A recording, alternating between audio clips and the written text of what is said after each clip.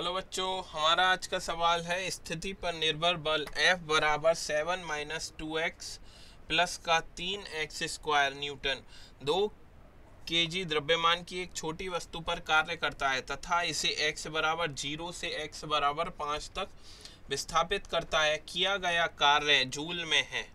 चार ऑप्शन हमें दिए गए देखिए, हमें पता है, किया गया कार्य W बराबर होता है एफ़ डी एक्स हमें वर्क कित, बल F बराबर कितना दिया है? सेवन माइनस का दो एक्स प्लस का थ्री एक्स स्क्वायर। और हमने विस्थापन माना डी एक्स है। अब हमें कुल बल निकालना है x बराबर ज़ीरो से लेके x बराबर पाँच मीटर तक। कुल कार्य निकालना है। तो W बराबर हमारा कितना हो जाएगा? इसको हम इंटीग्रेट या समाकलन कर सकते हैं। तो बचेगा कितना?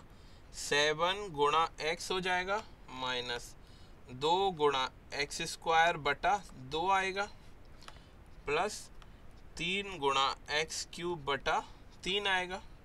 और लिमिट कितनी है? x बराबर ज़ीरो से लेके पाँच तक है। तीन से तीन कट गया, दो से दो कट गया।